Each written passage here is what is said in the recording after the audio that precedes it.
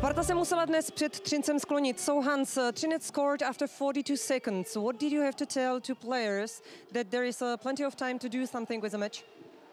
Yeah, that can happen. It, it was like 59 minutes left to play, so it's it's uh, not not much more to say. So I think we pushed. We played a really good game, tight game, and uh, it's, I mean it's a seven-game series, so we no one expects anything to be to come easy. So we're gonna go back home, uh, game five. Uh, looking forward to, to that.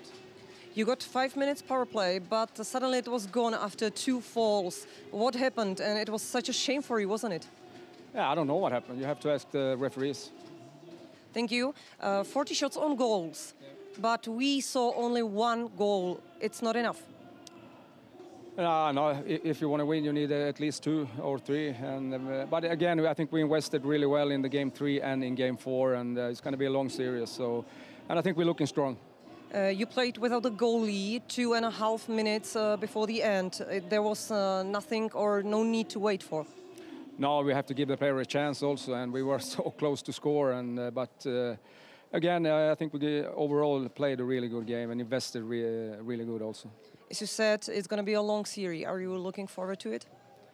Yeah, this is playoff. We, we love to play, and uh, we're going up against a really good team. So uh, we expect nothing else than seven games.